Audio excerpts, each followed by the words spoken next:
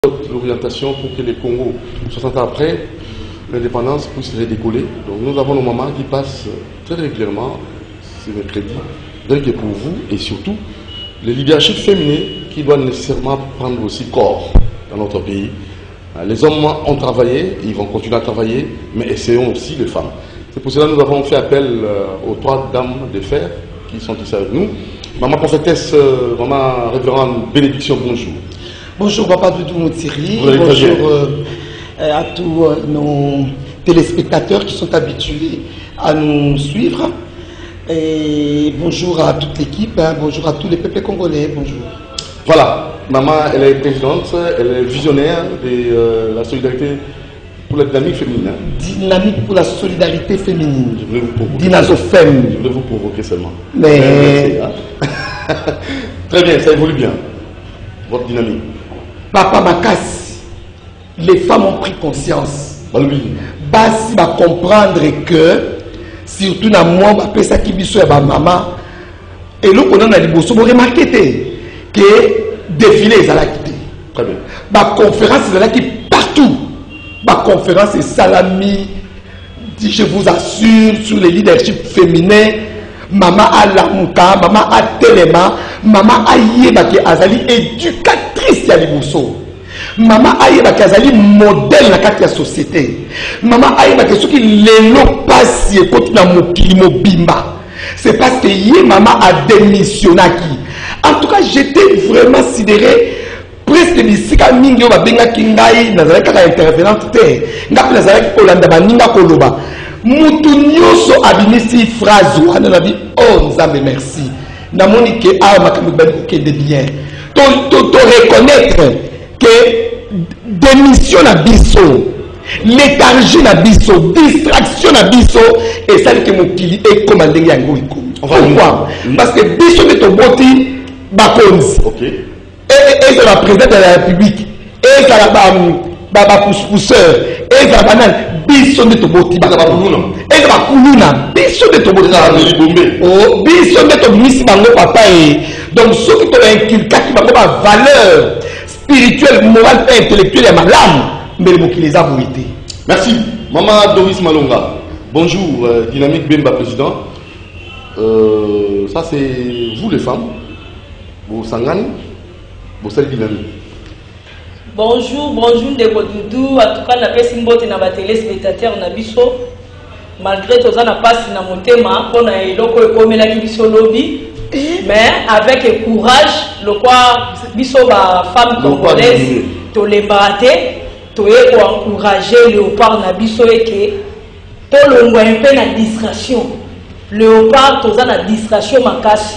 Tozo sala sport pena ndenge ezalaka sport te. Tozo espérer na ba fetiche. Soki tozo continuer kaka biso ba mama ya dynamique tolobi na Leopard boye. Soki tozo continuer ko espérer que so, soki tokie pa nganga, nde toko gagner, toko gagnaka te.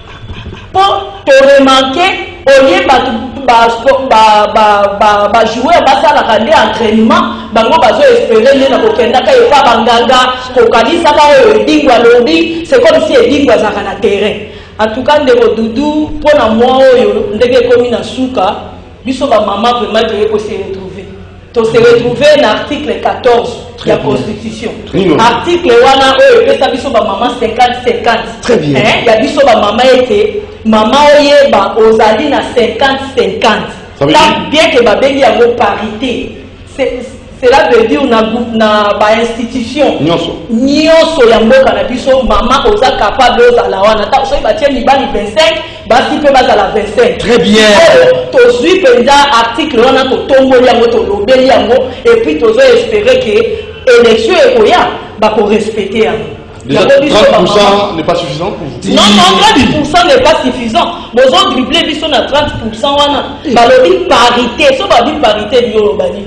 eza te ndenge bato mosusu bainterpretaka ke parité ezali mwasi akomi lokwa mobali non eh. mwasi atikali mwasi mobali eh. atikali mobali eza parité na babiloko oyo tozosalela na mboka eza neti bagouvernement ministre 50 basi basi 25 mibali 25 Très bien. eza neti na bainstitution neti na bacour supreme kokabolakabola ndenge wana eza te ke tokomi ndenge moko na bino mpo selon bainterpretation ya bato mosusu oyo tokomi ndenge moko na mibali Te. kokoma ndenge moko na mibali eza na bako ya basaleur en tout cas makambo ebele elekaki na bamakambo oyo tokei komona bamama misusu bakoti na makambo oyo ezali ya bien te oyo balakisi biso na este kuna mama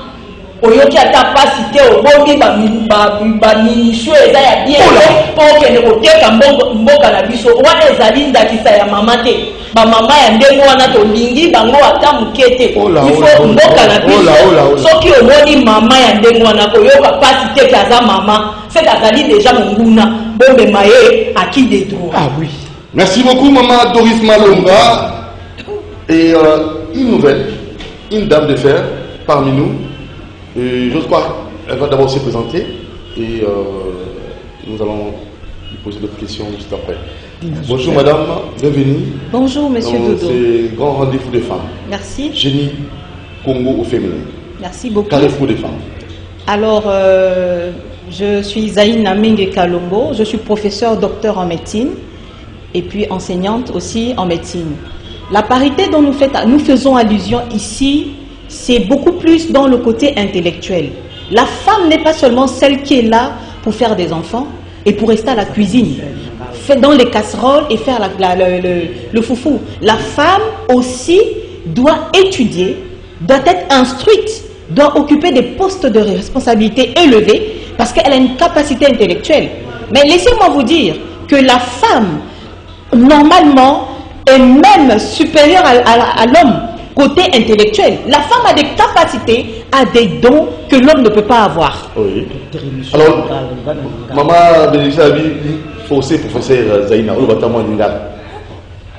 lingala na na français sangisa oui po mama na oyo oui ba mama ese o analphabète ba comprendre olingi oloba nini na mwa lingala kota na français ma français ezali na d'accord hmm. alors mwasi aza kaka te mpo na kolamba biloko na, na cuisine mwasi kaka mpo na kobota te mwasi mpe akoki kotelema mwasi mpe aza na mayele capacité intellectuelle dieu apesi nzambe apesi mpe mwasi capacité intellectuelle yango bamine bazoba parité Parite se veut pas dire tozo bunda na mibali te. Ah. Parite engeli ndo loba boye. Mwasi pe aza na mayele. Mwasi pe aza d'abord aza un don. Ye aza mama ya donc mère ya humanité mobimba. Très bien. Donc mwasi ndenge aza wana ezate kaka kolamba kaka fufu semoule na cuisine te. Mwasi nde aza premier médecin na ndako. mwasi nde aza infirmière na ndako mwasi nde aza premier professeur na ndako mobali azali banda aya butu mama nde azala na bana Maman nde moto akotangisa bana maman moto azolandisa bana donc parité tozoloba eza côté point de vue ya baresponsabilité na côté intellectuel nani apekisaki bino mpo bozwa 50 te biso parce que article eza na yango mais applicabilité bino bozo kotambola bozo nguluma bozo lala akila foti te Sikoyo basi batelemi basi sikoyo batelemi na minute oyo basi baza na baresponsabilité ya minene basi bakozala basenatrice bakozala badepute baministre kutu il faut baresponsabilité abongo eza epa basi parce que mwasi aza mama moboti aza na instinct maternel aza na bolinga kolinga mwasi alingi population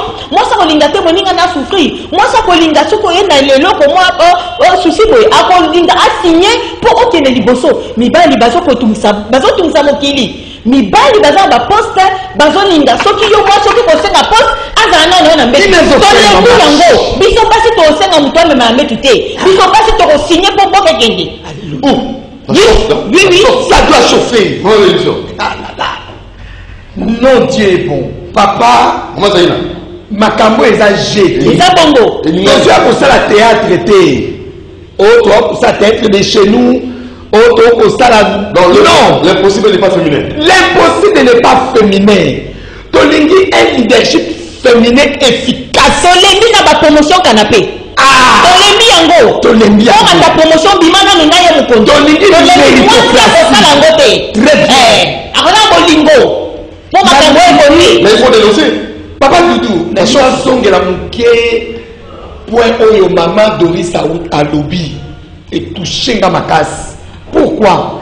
Parce que avant match awa na Kinshasa, avant que Maroc, nalekaki na émission na chaîne moko mpe ya monene ya mboka oyo Batuni ngai babi maman reverende yo omoni ndenge nini parce que eza na journaliste moko sportif video na ye etambolaki mingi aza koloba que plus de 200 féticheurs babengaki ye mpo na kosenga baassocie bango na bapréparatif ya match ok alors napesaki réponse boye nabi papa journaliste dès lors ke mokonzi ya mboka President de la Republique Felix Antoine Tshisekedi Tshilombo akabaki mboka na maboko ya Nzambe. Bino boke ko recourir na ba feticheurs boko gagner te. Abino ezanga biboko pola boko pola soki mpenza bobengi kaka ba feticheurs wana baye boko pola tosukaki ne wana. Tango bakengi ba même si bo gagner bokende musika te. Vous savez, on ne se moque pas de Dieu. Nzambe alobi il ne donnera jamais sa gloire à un homme. Et puis eza eza buzoba. Yo mona kisi vraiment ekenda kobeta kisi esala mosala to motu nde asalaka mosala meme na bible elobaka bino biso na mokanda ya timote exercez vous exercez vous à la piété donc moto nyonso mosala asalaka il faut a s'exerce mpo na amaîtrise yango kisi kokopesa makasi na makolo te non ce qui devait faire appeler des serviteurs des servantes sérieux koprie bakoti terrain basala entraînement ndenge mama alobi ozomona tala humiliation wana nzambe ayoka bango wana malgré tolobaki ye comme bakongoli bayokaka te balandaka te bazape yango nzambe kala mawa na ye apesi nul avertissement olie bacomprendre yango no papa dudu est ce que okoki korealize mboko eza na mpasi bato bakolela soki nini je ne sais pas assemblée nationale na bino eke kofutela badepute tike bazwi bango en charge mpo bakenda depuis ka depute akenda akobeta maboko na stade oyo batikela bakolo mosala basala batala koyo bazali babi ndenge basalaka mosala na bango bapesi bango mawa bafrustre bango papa yokanisi ndenge bayibaki yibaki wana bakoki kokende na benediction Tala echec munene 4 buts à donc 3 zero mais pourquoi vous ne comprenez pas les choses telles qu'elles se passent bolingi kaka bino bolingi kaka bino ok pas de problème biso mpe dinazofem tolobi ye bamama tolobi ko toza na nzela cette fois-ci parlement wana nakanisi erasem sa depute namoni ekozala 400 femmes depute ça on c'est ça même député exactement en tout cas tozolela nzambe aussi mpe ke nzambe akelaki biso bana ya suka tozolela kaka femme député bakota na parlement makambo mingi échange sa mibali nde bazala wa tout à fait madomis malonga avant nazwa mama zaina papa ndenge tolobi biso bamama toyaka basujet oyo ezoleka mikolo na mboka omoi ndenge mama benediction auti koloba mpo na likambo ya masi Yo oyokaki ba depute ya Maroc bayaka na RDC? Ata soki depute ayaki, ayaki na griffe ya depute? C'est que un moment tokokoma awa depute akeyi boite gouvernement na biso efinance okay. akende boite très bien ekokoma Quand meme. Totika pe kotia nionso tout tosangisaka kaka na gouvernement gouvernement. Depute azo gagner au moins si je me trompe pas 10 000 dollars par mois. 10 000 dollars par mois akoki ko s'amuser te. Ah. Ako s'amuser bien. Soki alingi mbati na ako kende ko ya ko na ye. Hein? Pourquoi il y a des gens qui sont là? ba apporte nini ah. ba profite bake kotala tombi ya mobutu seke bino ti ndenge bovandaka boyebaka te ke mobutu azalaka na maroc eh. boyebaka yango te ndeko dudu maka maboko oyo eza neti bato baosala ezaka groupe ya bato oyo bakei badepute bango nde basokipaka na bango omoi ntango baanonse kaka keno bamatiseli bajoueur ya mbongo oyoki baprofesseur ya université nde bagangi ah Ngai professeur. Tu te rends compte? Mais basala ko. Papa Doudou, bino boza na cité te. Ah. Boyoka makambo elobami. makambo elobami kaka ya mabe azopesa mayele ngambo azopesa ah. ngai te makambo kobakisa yango mapoto ah. azwaka plus ah. boye obakiseli ye bien ke bible elobi Oyo aza na ngo nakobakisela ye oyo azangi ayebi Moto na koluka te lisusu. nakolongola me oyo ya biso eleki kobakisa yango mpe eleki bochange nano manière papa papa mboso e badepute wana bazalaki capable bakenda ata na 3500 wana Ba- Bazongisa bakenda mbongo. ata na- Bazongisa. na awa na- papa lingi ete landa bango bazongisa mbongo bazongisa toponi te bazongisa mbongo na kesi Boni boye ba depute bazongisa mbongo wana. Bazongisa mbongo wana ko to gagne pe te. Bazongisa mbongo. Est-ce ba yeba? Ba yebi pe te papa. Voilà. Maman Zaina. Oui. Leadership féminin et soit place et soit place Avec quelle femme? Avec quel comportement au bas bazana ngo au bino bolingo zwa leadership. Bo ya bino zwa place ya mibale kende. Merci. Ezonga si.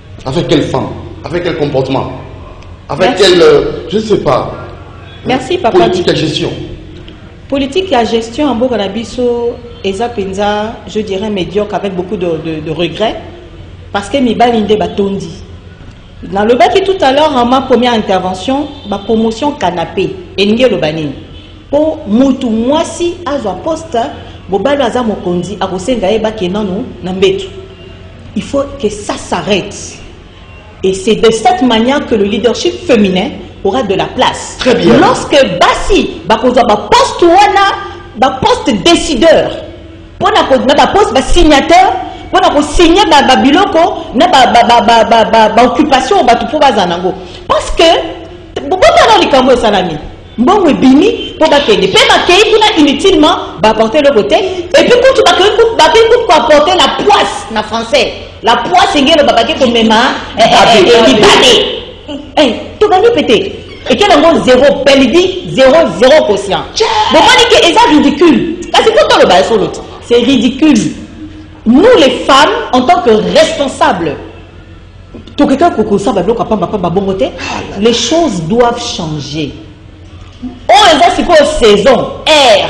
ya basi très bien eza époque ya gloire à dieu et dieu dans sa miséricorde de son amour yoka likambo moko bible eyebisi biso Bible elobi boye. Bon.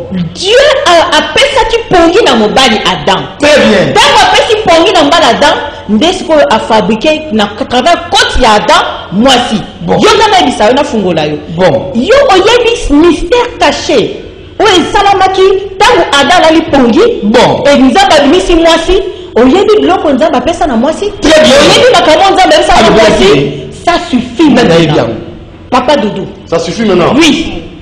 Parlons social, ma prix, ya biloko emati. Euh, Eliezer euh, azolamusa sa motion de défiance contre le ministre de l'économie.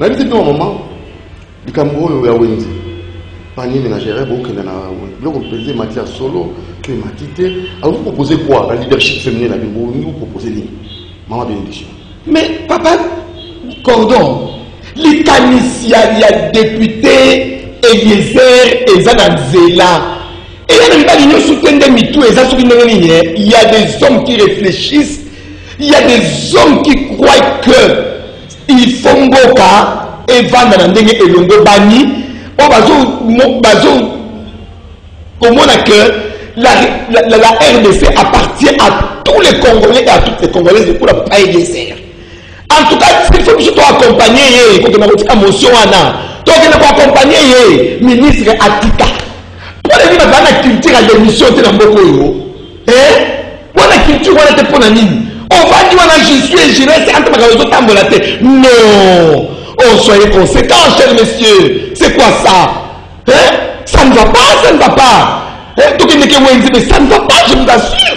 soki biso alors moi personnellement à mon niveau naza kolela bongo mama oyo aza na se kuna na ccc eh, eza ndenge nini papa dudu pasi ezali Pasi ekoti social eza ezali ezo tenir te motion na ifo ekota motion wana ekota tata wana ifo bakitisa ye atika baluka motu mosusu ya mayele oyo ayebi makambo asala mosala koma explike mboka oyo tata moko akutanaki na chef de l'etat na kinkole kuna Un jeune garçon atanga na Chine, ataki na Chine, ayebi makambo ya pêche, ayebi makambo ya élevage et tout bien là bien. Basololi na chef de l'État pe chef de l'État alobi hmm, merci beaucoup, nazui nazui magie ya kosilisa eh, eh, eh, famine na mboka na ngai. Papa Doudou, non, mboko ezala bandoki. ye mo chef d'etat alobaki yango e oyo mokonzi makoki kofinga bato afingi te amoni kindoki na misu boye kaka ye azongi bazuko na mbala oyo batie na kasho aketi prison bacrele histoire soki histoire nini mwana mbali na prison wo mpo bango nde batikala korécupere projaune mais c'est quoi ça c'est quel degré de méchanceté comme ça bino bobi basi entre biso tolinganaka te bino mibali nde entre bino bolinganaka mwana bana akende osali na prison moto mayele oyo akosala pour que toute la nation tosepela tobakolia ba saint charles tolia bio mais c'est quoi cette histoire rendez-vous dans quelques mois biso na bino mama denis malonga papa économie sociale ah, ngai na koloba quitons la dépendance très bien tolongwa na système oyo ya koimporte ah, omoni Du fait que biloko hein, nakopesa exemple ya ndako du fait que mama ndako Oui. akendaka kaka na coin na malewa Oui. kosombaka biloko ya ndako na ye baliaka bakotondaka jamais basala ndenge nini mama na biso papa alonga omoni neti lukangalozo bien ke projet wana eza na nyamu nyamu na kati te epuis projet wana ebandaki tosi toremarkaki ke eza mabe Batiya bato ya malonga basala projet wana. Omoni neti general Kabwit azosala? Très bien. Ba appuyer yango. Ah, Nzambe apambola tata wana. Saki omi azoteka saki ya semoule 18 000 sema basoda. Et puis soki ekiti boye. Kaba soda. Po soda ye moko azwa meme. Eza pasi. soki mpenza basaki wana ekomi koya ngonga nyonso ndeko dudu Faut production ezala mingi. Faut production ba- ekoza ezala ndeko dudu yo kongwa mosusu yo okendaka kaka okuti mama asi alami C'est ça. me tozosala boye. oyebi te kalite malembe nini na ntongo otiki 10 dollars Eh. alobi ekoka te ekoka te obakisi 5 ekomi 15 Oui. ekoka te Oui. ekomi 40 000 ekoka te Mon chauffeur asali lido kalkila yabi Oui. oyokota na mozini oyoka Oui. mai basombaka mai Oui. bidon 500 C'est ok. soki asomba 10 bidon elakisi 5000 5000, oui. 200 francs ya kotoka mai Oui. ça veut dire ça fait 6000 francs papa Oui. akela makala po kuku ezali te Oui, oui. makala mpo na elamba soki azwi total ekosala 4000 francs 10000 ekweli Ekwei. akela ba épice Oui. akela nga na mwa ngombe soki olingi vivre euh, viande fraîche wana yo oke na nyama kati ya nyama 16000 bana classe transport 20000 francs bana classe transport alors on dit na bati eh alukaka mama oyo na bana classe na bise ke basi na biso bakokate kala mingi Ndeko Doudou Diana Sisa Ndeko mama azwa maloba Ekomata ekomata Ndeko Doudou yoka eloko biso to remarque biso ba mama tozalaki dollar ezalaki na 16 pi 500 hein tozalaki kosomba saki ya semoule na 26 mille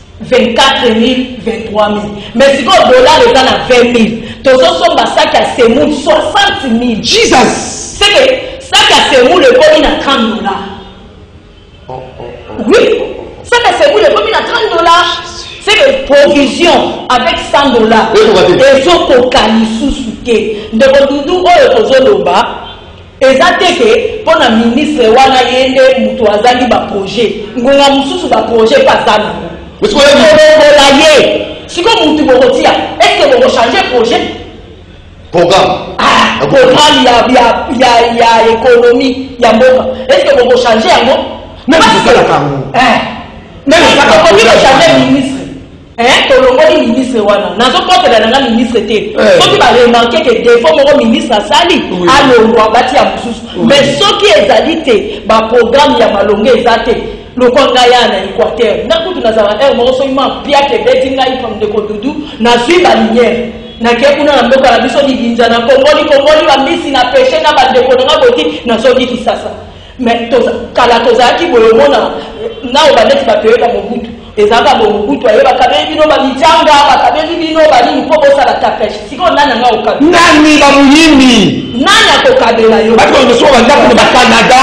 mutu aza te bakasi ba ndako ba Washington biloko wana mama Zaina ah. on a suivi le canal ah. Mbongo il se questionne d'où viendra Le Moïse qui va nous délivrer de cette crise. Ça c'est euh, le canal à Mbongo. Parce que bato bayike bakokamba bango kotala kaka libumu na bango alors nayebi te mama zaina toke kaka likambo ya social toke na likambo ya euh, monsieur ya elezer l'honorable est ce que vous en tant que professeur mais kutu oloba wana lifalanse mais bamama na biso baboyi mpo eza émission ya lingala yesu propose nini mpenza est ce que tozo manke nini mpo tokufa nzala apparemment nous avons tout ndeko dudu retenez ceci mwasi aza na baguette magique ah bon oui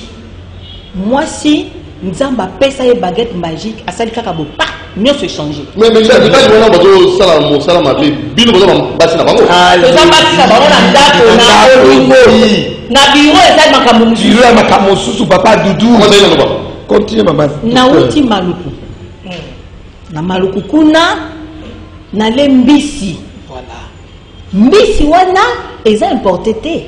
Voilà. Eza mbisi ya epa na biso. Très bien. Na uti ko consulter ba mama na ba gratuit. Consultation ofele. Fiche ofele. Examen ofele. Prise en charge ofele. Gouvernement ezo ko soutenir. Ala financer te. Gouvernement ezo soutenir te. Sala bofandeli wana bofandeli nini? Bino mibali. Maroc ndeko bima. Sikoyo mbiso nga nale na malu. Mbisa munene boye. Mbisi ya mboka na biso. Bio. Dites-moi comment bamboka oyo bozo kona luka mbisi qu'est-ce qu'ils ont de plus que mboka na biso mbisi ezonale mbisi poso ekomi makasi ah, popo mbisi akomi paka akomi vie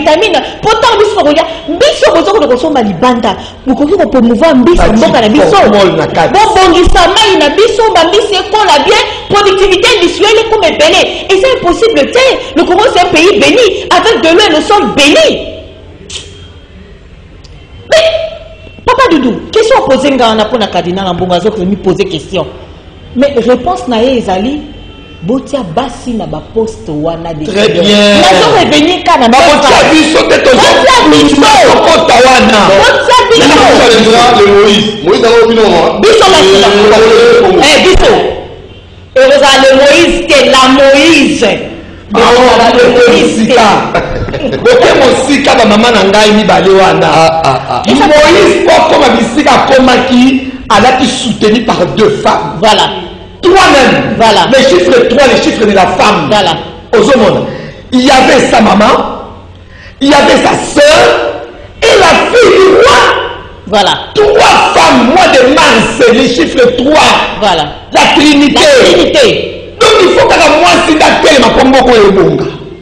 Soki mwasi azalaki te mbele Moïse akufaki.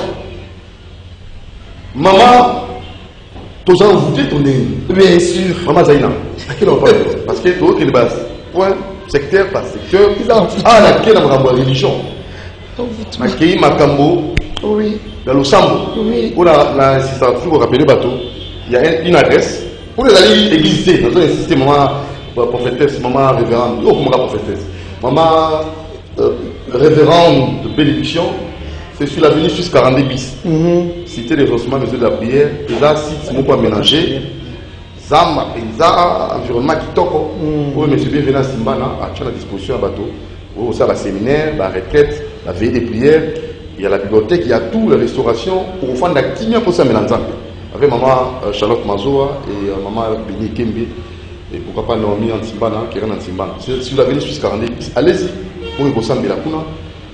po oyo tozomona bino ba mama bozosala mama asali makambo na ye na nkuku azobeta lisolo na yango sans pudeur une femme marie parce que leadership féminin esengeli kotelema mais kotelema na spiritualité nini na kosambela lolenge ekani na bapartere ya lolenge ekani na kati ya mboka oyo quelle spiritualité avons mama zaina Mama oyo okolobaka azwa leadership asali makambo na ye ya nkuku ya salite aye kobeta liso na yango mbala misato basala yango mbala misato na ye sepa est ce que vous les femmes là tokoki koespere na bino mais ça c'est une euh, c'est un exemple parmi tant d'autres tokoki kolimite mayela bafemme ya bamama te par rapport à moye mais que dit non Comment reagir les femmes Ceux qui m'ont dit bah, ça, au salon, yango bazo leka na réseaux sociaux te mais bazo subir na basala nzambe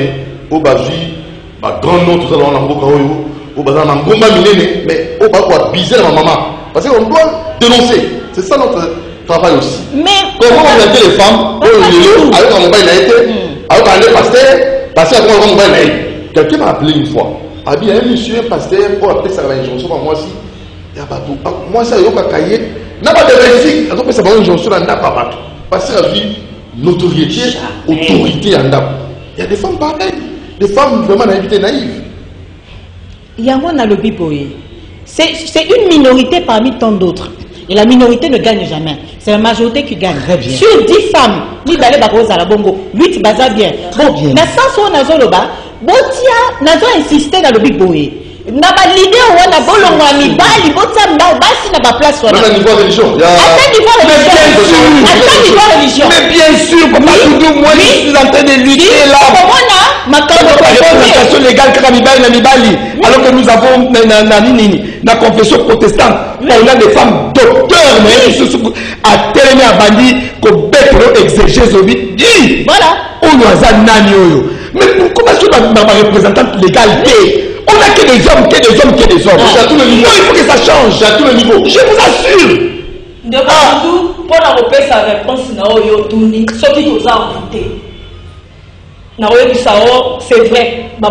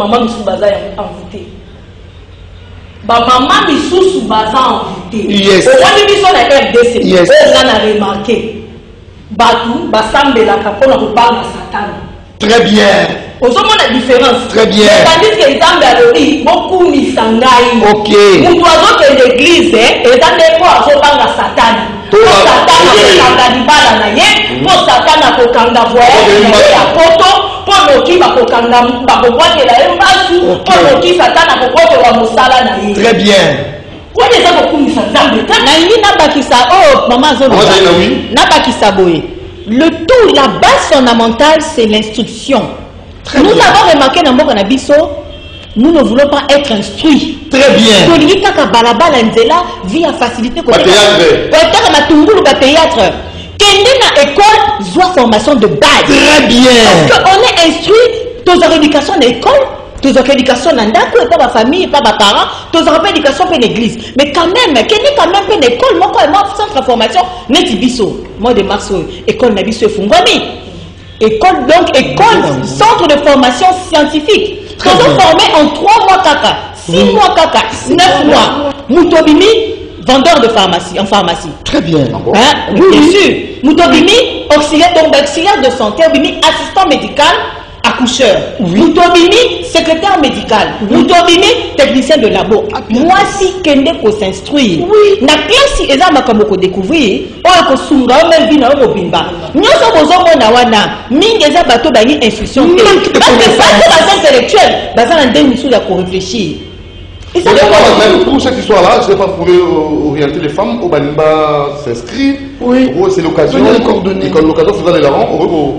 pesa bango ba coordonnées akoto cours et en un temps record donc ça système na biso à poto on met des bases fondamentales pourquoi yoka basi mingi na mibali oyo bazoteka na bapharmacie bayebi ata ba pharmacologique te mutu obeli okoma na docteur Docteur akomeli yo kisi ozui ordonnance oke epa na pharmacie omoni vendeur ya pharmacie papa yo nangi kisi oyo combien montant boye namela yango ndenge nini yoka Aye. nake kosala consultation na masina vendredi passe mama moko awuti kokufa azalaki na be- demangeaison vaginale ake epa docteur apesi ordonnance ake na pharmacie ate akuti vendeur ya pharmacie Vendeur ya pharmacie apesi ye kisi oyo docteur akomi hydralin lotion eza bain intime papa papa dudu yoka ake sikoyo epa vendeur ya pharmacie vendeur ya pharmacie ayebisi abi mama zwa lotion wana chauffe mai na tasse neti ti tia une cuillère ya soupe mela ntongo pokwa mama cinquième jour akufi mais ntango abandi komela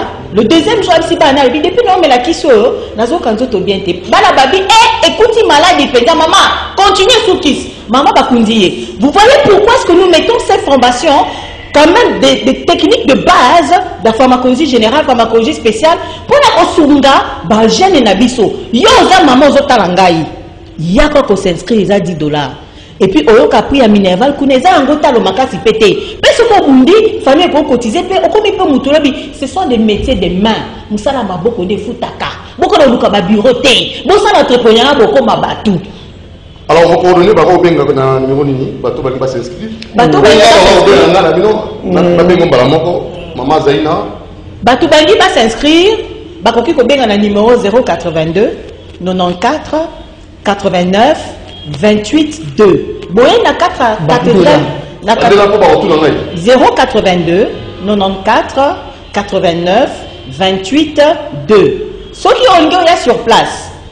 Oye na cathedrale Notre Dame du Congo na, eh, na, na paroisse ya Monseigneur Ambongo na église catholique sur 24 avant à sa neuf okoti kutu okoti na kati ti na suka sale mo eza wana centre ezali wana ONG malaika eza oye na 10 dollars no s'inscrit le reste bokomona kuna mama yaka 3 mois obimi mokonzi oza na testation na yo okomi intellectuele longola vi ya basesi koma mutu monene koma intellectuele bima na société ya sopita eh! Sopeka. Merci maman Zaina. Incursion rwandaise. Rwanda ezo soutenir euh, M23. Moi dem soda moko ya rwandais ba kangi bango. Je ne sais pas. Il y a avant il y a danger. Mais vous en tant que femme, dans un est wana. Solution ni longo pesa na leadership féminin. Papa Doudou Oyebi eza na makambo mosusu lere moko epesaka mawa makasi na mboka na biso baoyo baza na pouvoir ntango toki kodecrie euh, mauvaise gouvernance na bango bakomona toza contre bango mpo tolingi to remplace bango eza bongo te Mauvaise gouvernance na bino eza na incidence likolo ya bomoi na biso. Voilà. Biso toyali bawumbu na bino te. Bozwaki na bakoko na bino te na batata na bino pour que biso toya baesclave na bino. Non.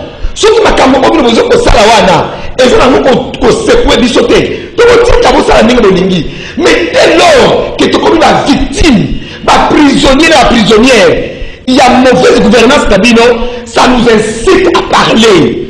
Voilà, vous n'avez pas nous museler, tokoloba. Papa Doudou, likambo ya bitumba ya est basi baorganisation yango plusieurs fois ya complicité quelque part ezala bato baza kosenrichir na makambo oyo wana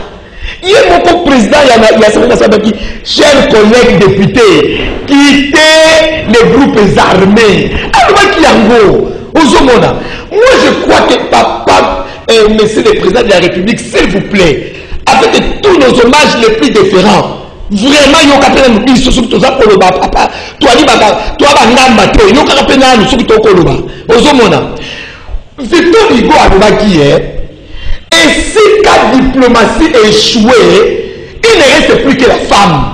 Papa, essayez de regrouper des femmes même ya société civile oyo oyebi oyo baa mayele baa compétente baa dynamique bakende nanu konegocie makambo wana zwa société civile kozwa bato baza na kati ya nini te na gestion te société civile basi Tokende nanu kotala makambo nini ezoleka kuna, toyeba makambo wana mpo na kosilisa yango.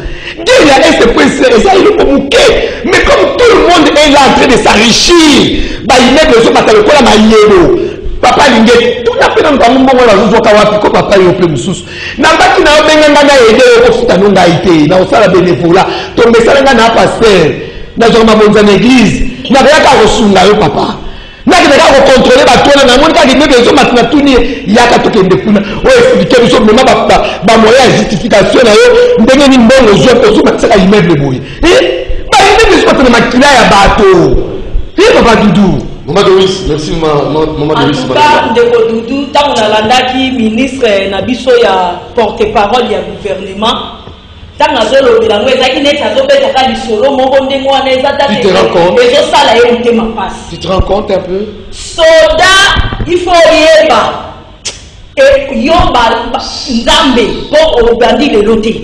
Soda ye yo obandi lelo te nzambe ayebi yo oza mpo na kosekirize mboka na yo Omoni nga ndenge naza boye ndeko doudou moto akoki kolongwa mosika na ndako na ye te akotela nga ti na ndako hmm. nakoki kondima yango te soda ava okende bitumba sambela nzambe nzambe akopinir yo te mpo odefendre mboka na yo oh. totika kolelalela no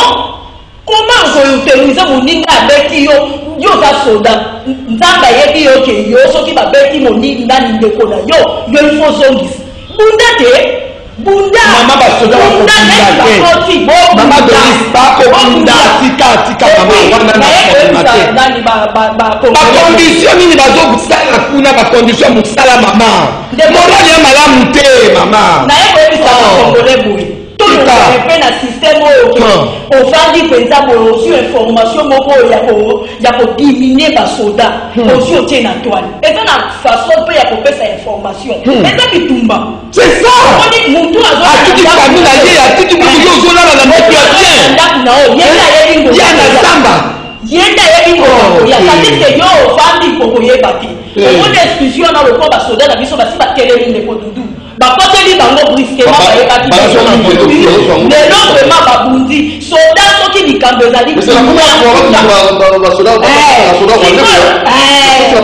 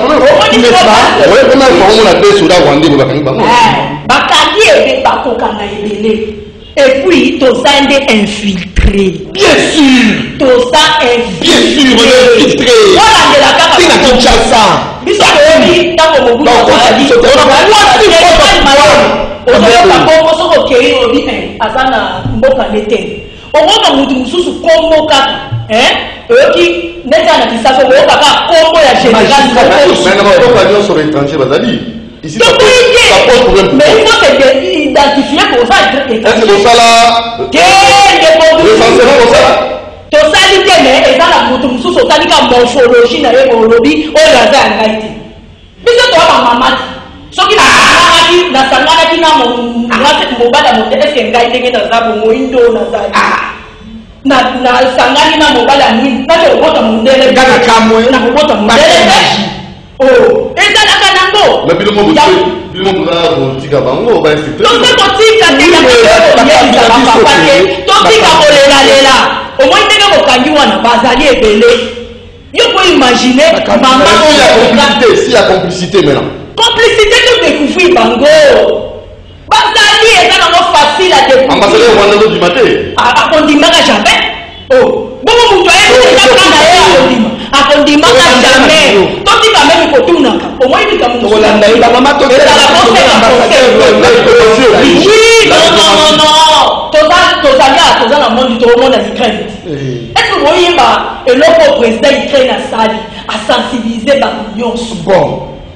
Hein? Bon. Mutu pe abataki ye civil. Hein? Ozui ye penda alobi te mpo na mboka na ngai na kotika te. C'est ça. Oyo esengi na biso pe yango wana. President Ukraine aza na nini? Na eloko te. Selon Russie, amonaki ke dans 3 jours akofina ye. Mais ti lelo ye wana azo continuer.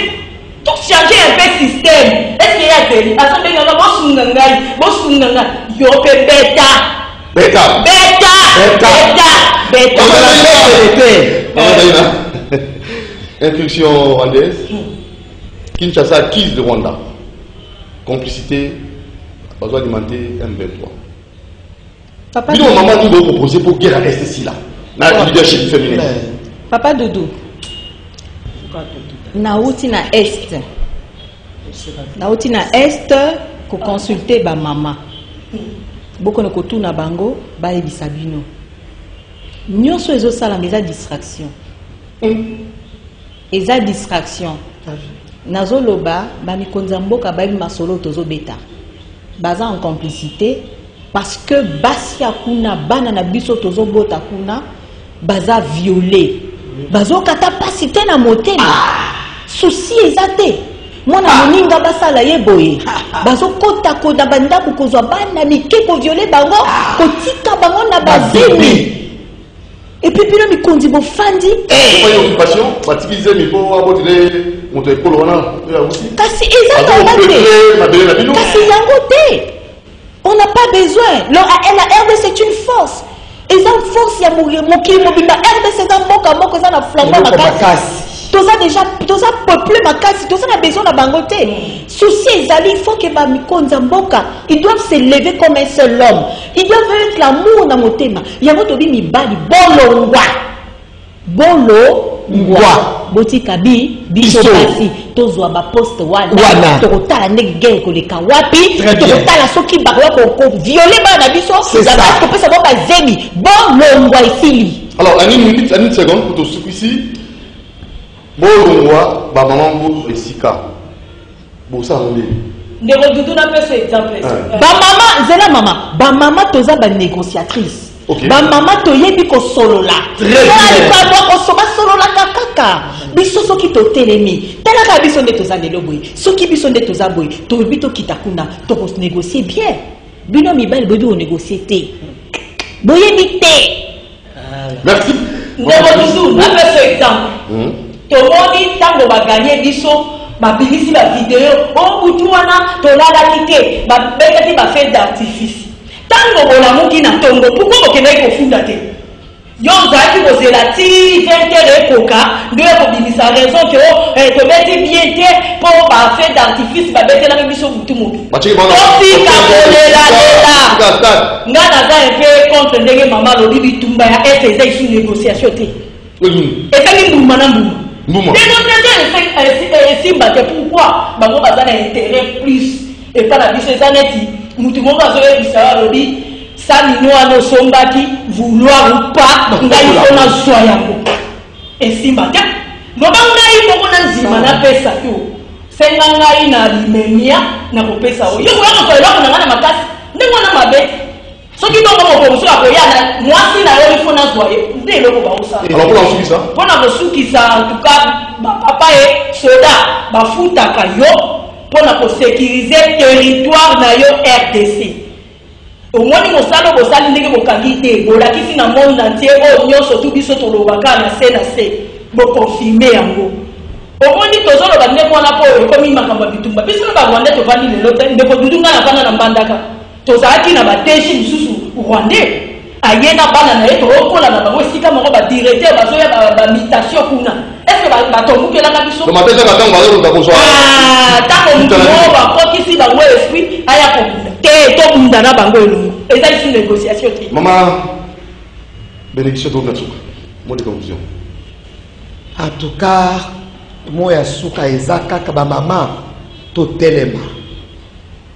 totelema non seulement totelemi mais to agir ce n'est plus le moment de se plaindre c'est le moment d'agir lokola bana ya shelofate na nombre chapitre 27 verset premier ti na, na, na 10 ou 14 Bitumba oyo tozo bunda lelo eza pona lelo te c'est pour garantir et preserver l'avenir soki to continuer kaka kolala to continuer ko se plaindre même progéniture na biso ekozala malheureuse totelema tolongola bolembu tolongola complexe mm. tose soutenir bamama To se soutenir. Merci na ba mama oyo na landaki mingi ba bandi ko creer ba parti politique. Moi c'est là que je vais m'adherer. Parti politique oyo ezali presidente ya mwasi nde ekanga na kokota. Voilà. Mibali te. Te mais pona oyo makota na dynamique. Ba oyo oya na dynamique. Ba bengi na ndoni. Bobengi na 085 83 09 100 dynamique la partie politique était ekotransforme que la partie politique était et une plateforme Ngambé Ma femme avisée des femmes ambitieuses qui veulent transformer l'image du monde mm. c'est ça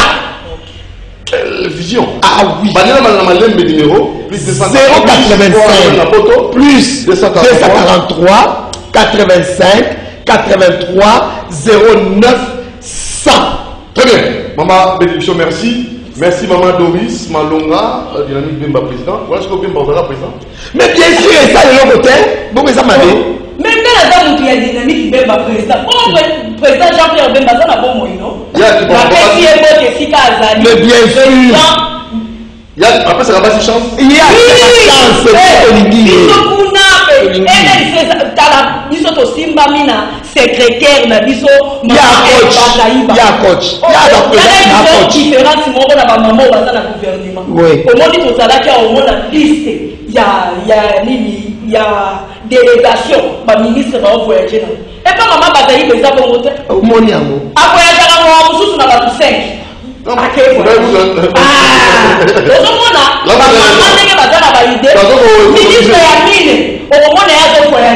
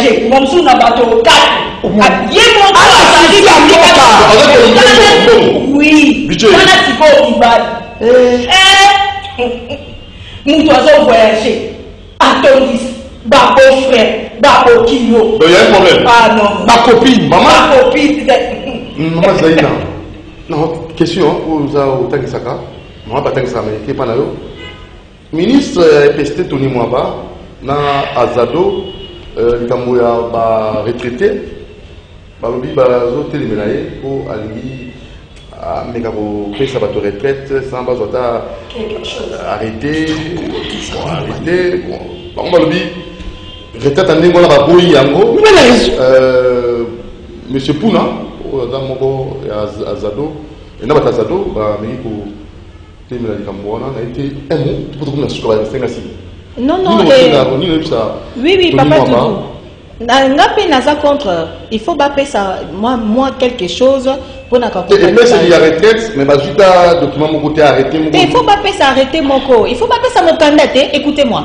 L'administration n'est pas verbale, elle est écrite. Très bien. Il faut ba pesa mokanda te papa. Ah là là. Oh, très bien. Il faut pesa mokanda. Si ko ba retraiter wana, il faut pe ba luka pe mutuelle de santé wa 15 dollars wana par an.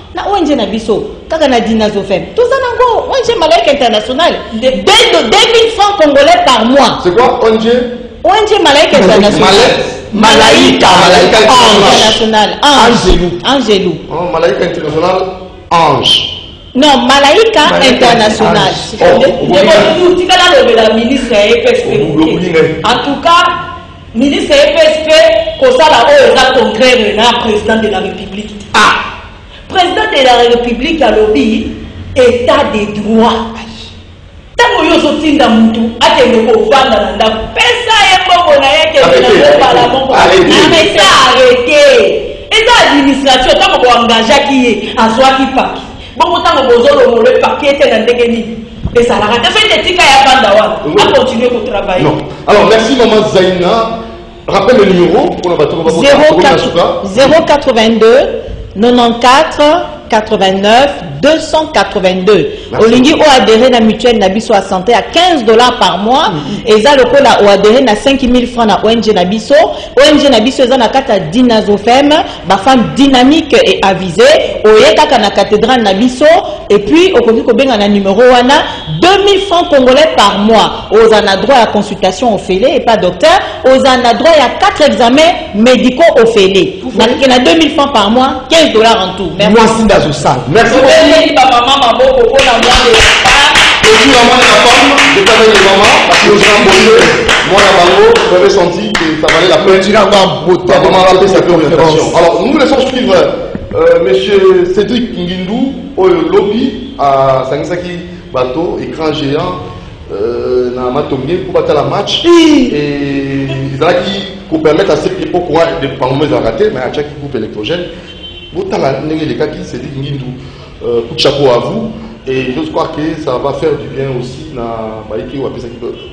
Même Mbondi wa Mbondi, l'honorable, lui qui réclamait bazongisa ibenge mpo na nini kopolitize makambo ya foot mpo na nini kozwa bajoueur kilikilikilikili bakosala kwa nzonzini babeti bale babeta te bakutana te bakutana kaka na occasion ya barencontre ya minene alors ça ça pose aussi problème euh, suivant euh, cédric ngidou suivant mbondi ya mbondi il y avait maya ya mate il y avait euh, ve ya mbata moronzambe il y avait euh, natacha mbenza euh, Edith, euh,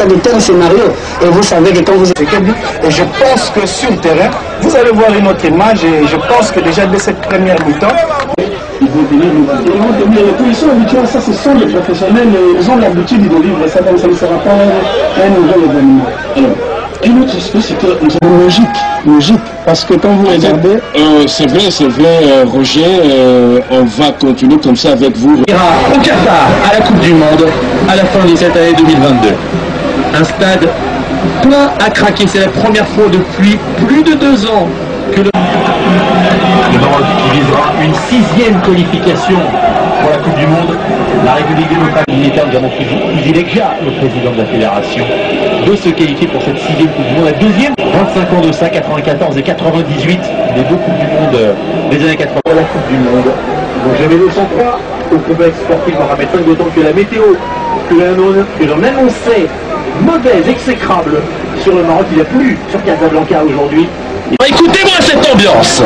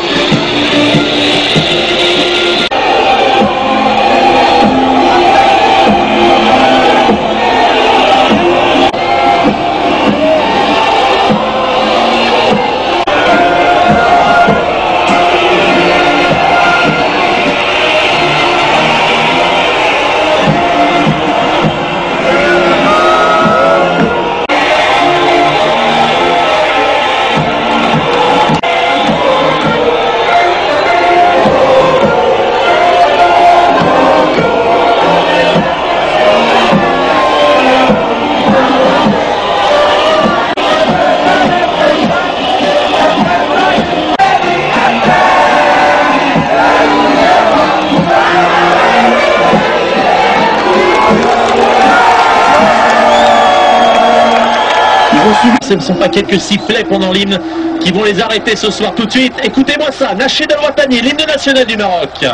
Voilà au match puisqu'il est arrivé un peu en retard au rassemblement, composera l'attaque avec Yohan Wissa, le pays Dieu merci Bocani se retrouve donc sur le banc des remplaçants avant le coup d'envoi de ce match. Les Lions de l'Atlas en rouge, les Léopards.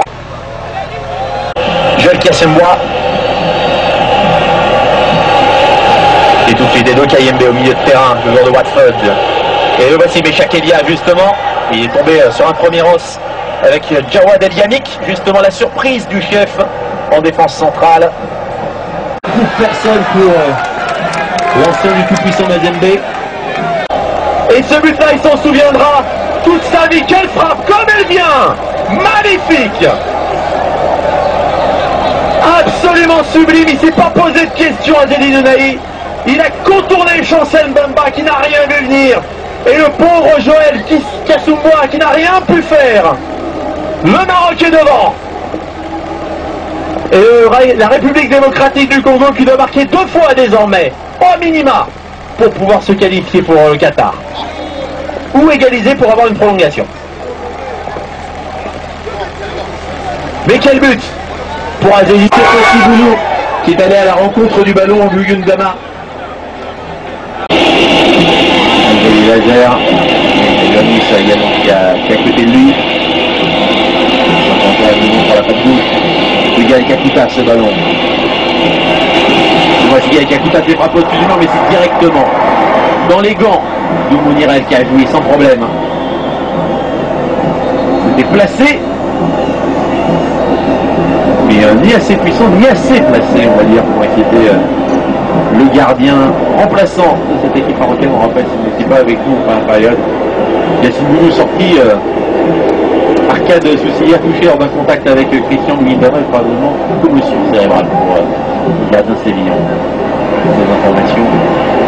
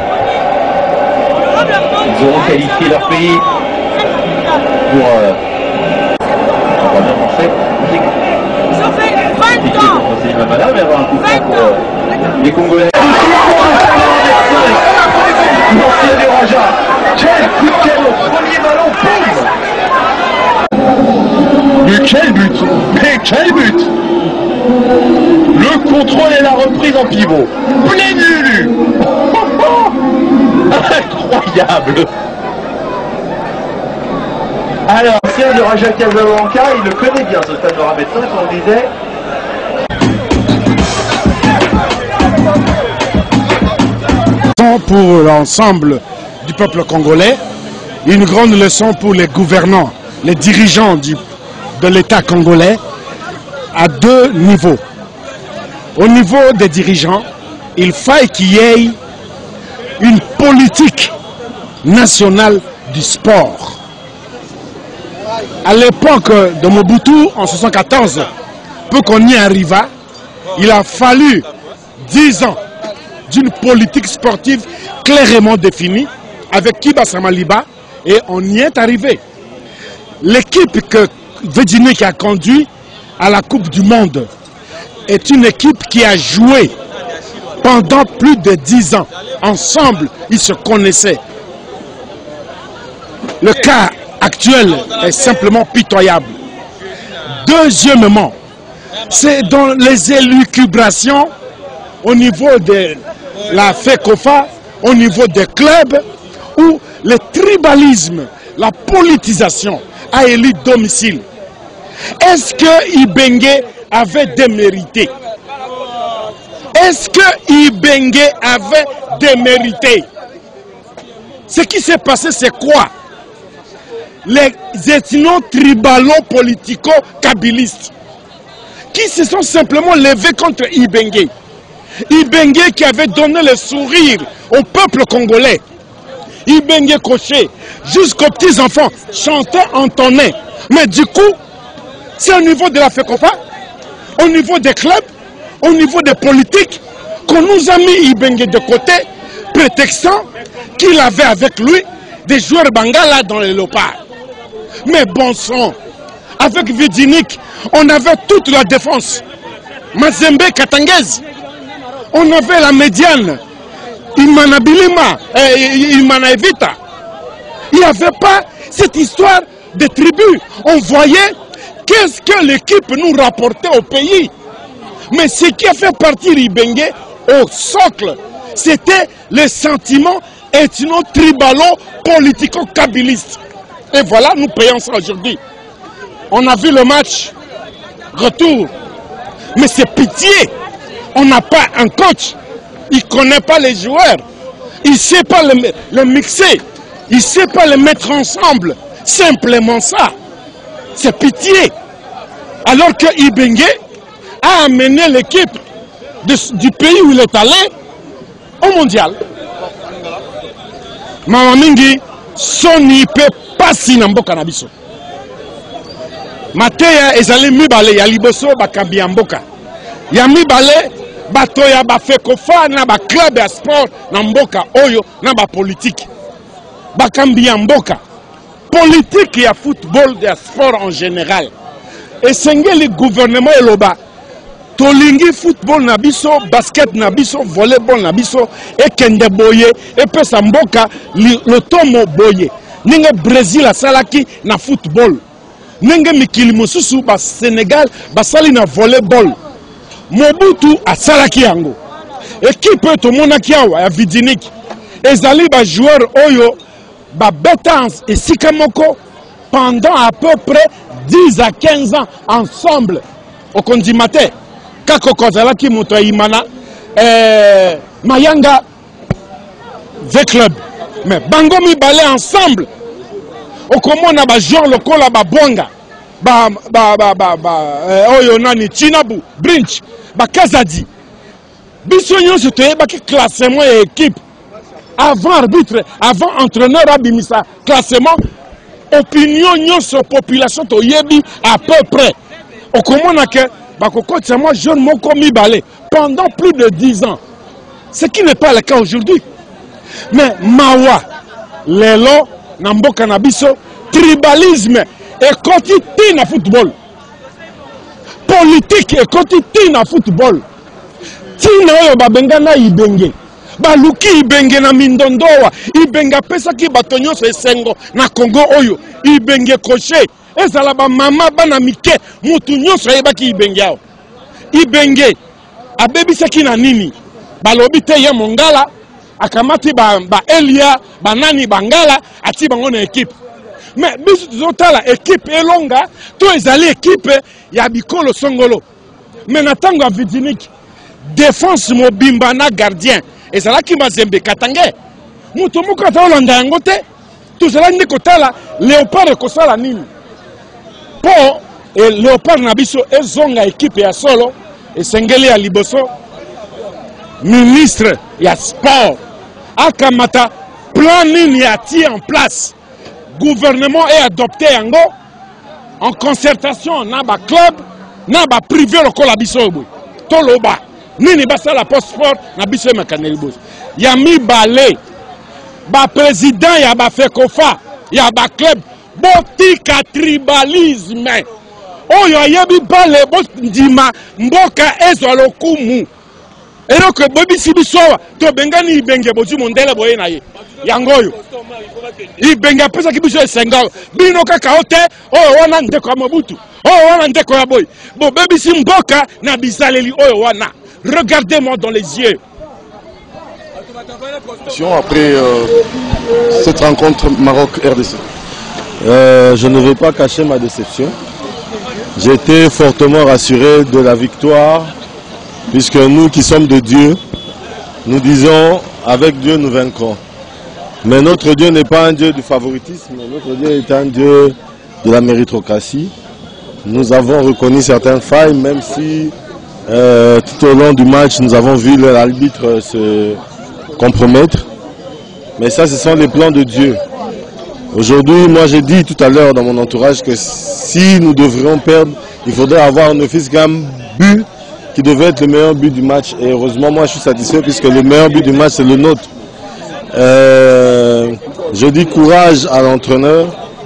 courage au président de la République, courage à mon président de parti, euh, Jean-Pierre Bemba. Courage à tous les Congolais, euh, courage, à mes frères de la FUNA, Kalamu euh, Ngiringiri, Bandalunga, Makala, Bungu, Selembao. Nous sommes ensemble. Euh, nous aurons des occasions pour prouver que la RDC est un pays solution,